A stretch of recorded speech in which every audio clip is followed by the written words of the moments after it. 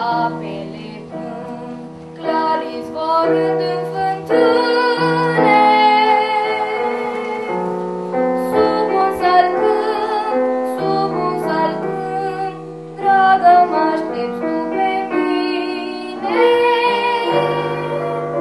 Școala gimnazială Florea Bogdan a dat startul manifestărilor dedicate poetului național Mihai Eminescu. Bibliotecarea școlii a pus la cale un moment artistic prin care să ofere elevilor o imagine completă asupra vieții și activității luceafărului poeziei.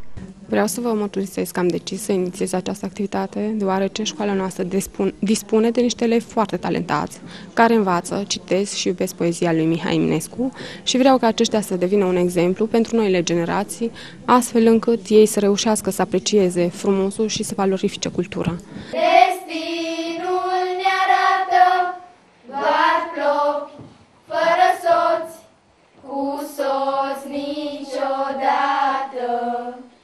Acesta este un proiect, vreau să vă menționez, pe care am reușit să-l organizez împreună cu colaboratorii noștri.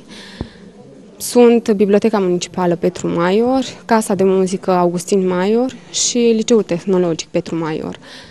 Și va consta în faptul că vom recita poezii, vom cânta poeziile lui Mihai Eminescu și vom avea niște momente deosebit de frumoase.